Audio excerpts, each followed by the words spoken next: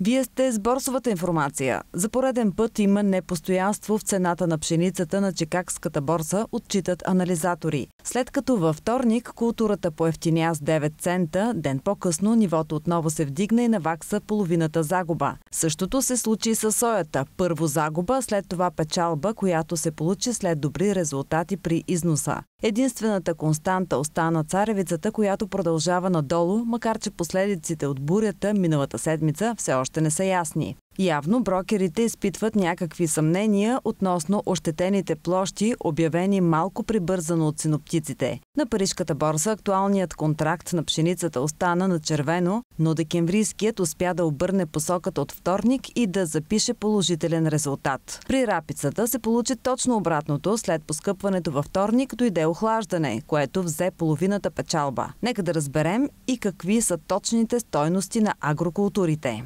Септемврийският контракт на американската пшеница добави 4 цента и половина до 5 долара и 12 за бушел. При курс на еврото от 1 долар и 18,5 цента, това са 158,81 евро за тон. За септемврийските фьючерси на европейското хлебно зърно сесията приключи с минус 75 евроцента до 182 евро и 25 за тон. От тях при 8700 сделки бяха продадени 435 000 тона. Декемврийските Българските доставки обаче поскъпнаха с 1 евро до 181,75 за тон при продажби в размер на 803 000 тона.